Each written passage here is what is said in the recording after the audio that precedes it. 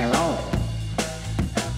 This album was made by the Yakina and also by Kuga Pascal.